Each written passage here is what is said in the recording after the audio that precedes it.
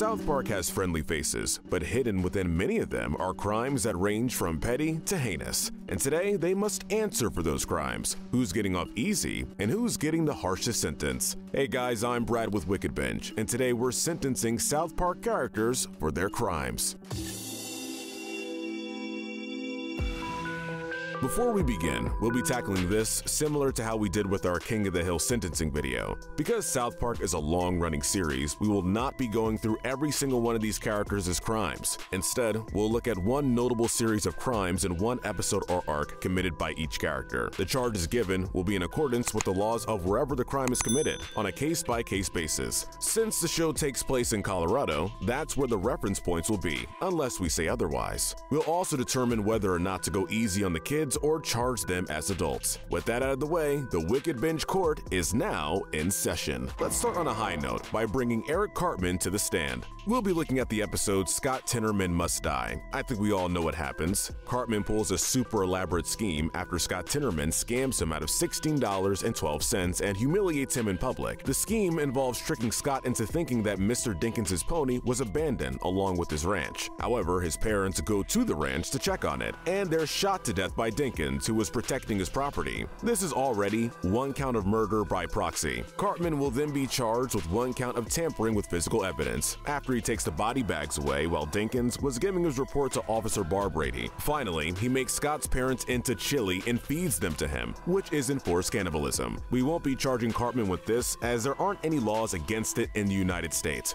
I know, shocking. As the proxy murder was premeditated, we're treating this as first degree murder. In conclusion, Cartman Cartman will certainly get charged as an adult, and he will get life in prison for the murder of Scott's parents and a $100,000 fine for tampering with evidence. Next, we have Kyle Broflovski. In the episode The Entity, Kyle's cousin, Kyle, comes into town, and getting sick of him, Kyle tries to get rid of him in a couple of ways. He first has him get on a sled, which he ties to the back of a bus headed for Connecticut, which is one count of child abandonment and endangerment each. He then commits trespassing by going into the airport security bypass and false imprisonment imprisonment when he seals his cousin into a box and puts it on a plane headed for Antarctica. Kyle's cousin lives as he comes back a few seasons later, and because of that, we'll go easy on him. We decided that Kyle will receive three years in juvie. Now we have Stan Marsh in the episode Whale Whores. In this episode, Stan joins the Whale Wars crew and saving the whales and dolphins after the Japanese keep killing them. When the crew does nothing to stop the whaling ships, Stan commits one act of piracy when he destroys one. With Stan as the new captain, he destroys two more ships in the montage, and it's implied he destroyed a fourth when the Japanese Prime Minister sees Stan in the paper. Also, all these count as eco-terrorism. While eco-terrorism would be hard to apply a sentence for in this instance,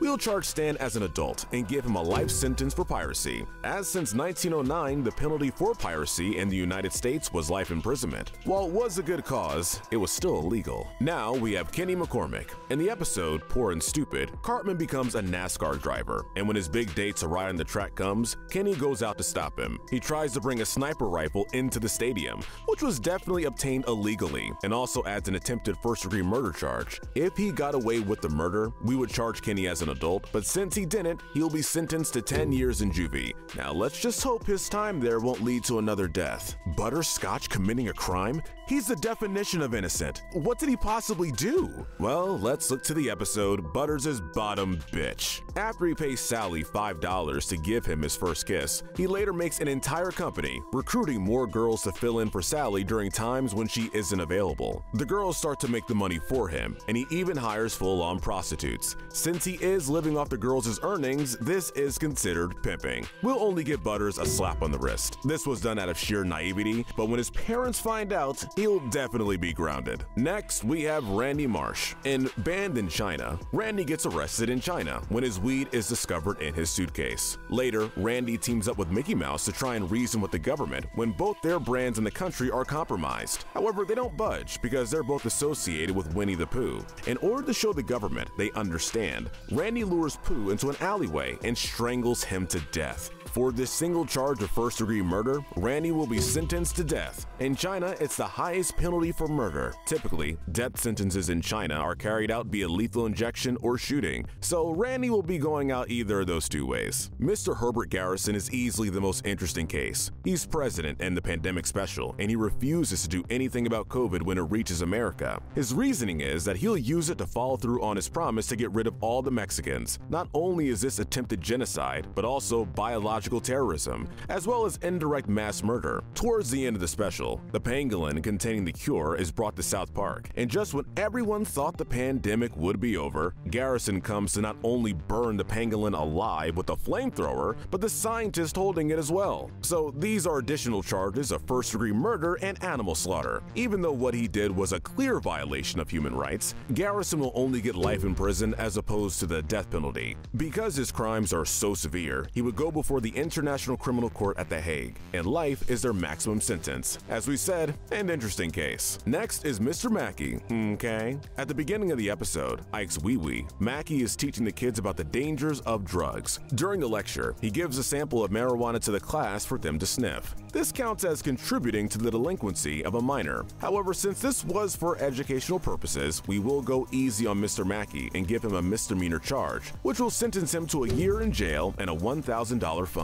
Now we have Jimmy Valmer, an up-the-down steroid. Jimmy uses steroids to gain an upper hand in the Special Olympics, which we all know is illegal. Later in the episode, he beats both his girlfriend and his mother, which are two counts of assault. We decided to count it as first-degree assault, aka assault with a deadly weapon, because Jimmy's crutches technically count as weapons in this instance. We think it's appropriate to sentence Jimmy to three months in juvie and some rehab and anger management classes. Next, we have Jimmy's best friend, Timmy Burch. However, they weren't always friends, as we saw in the episode Cripple Fight. There are a couple of instances of violence against Jimmy. Timmy first gives him Kenny's parka as a gift, knowing that it could very well get him killed. Since everything from a safe to Jimbo and Ned to a whole plane almost kill him, this is a murder by proxy charge. Timmy and Jimmy later get into a fight, which is first degree assault. Like Cartman with his murder by proxy charge, we'll be treating Timmy's as first degree murder. In the end, Timmy will be sentenced to a year in juvie and some anger management. Now we have Wendy Testaburger. At the end of the episode, Breast Cancer Show Ever, Wendy satisfyingly beats up Cartman after he spends almost the entire episode mocking breast cancer. This is one count of assault and battery in the second degree, and we'll add another count of disturbing the peace, as everyone in the playground was minding their own business before the incident. At the end of the day, she'll be charged with six months in juvie and anger management. Next, we have Tweek Tweak and Craig Tucker together because they committed the same crime together in the aptly named Tweek vs. Craig. The boys instigate a fight between the two, and they fight once in the playground and a second time in the hospital. They'll both be charged with two counts of second degree assault, one for each fight. However, as the fight was instigated by the boys and not done on their own volition, we'll only be giving them a one week school suspension. And finally, we'll end with PC Principal. In his first episode, Stunning and Brave, he commits a crime before even uttering a word, albeit petty. He takes a drink and throws the bottle on the ground, which is, of course, littering. He next violently beats up Cartman in the bathroom for using microaggressions, which adds a second degree assault and battery charge. Next, PC Principal's fraternity engages in plenty of hazing, such as branding pledges with hot metal and forcing fellow brothers to drink excessive amounts of alcohol. Hazing is illegal in many states, with Colorado being one of them, and with PC being the head of the fraternity, he's criminally responsible. Finally, to shame Kyle for insulting Caitlyn Jenner, he orders several of his brothers to break into his room while he's asleep, tie him to a tree, draw penises on his face, and shave his hair,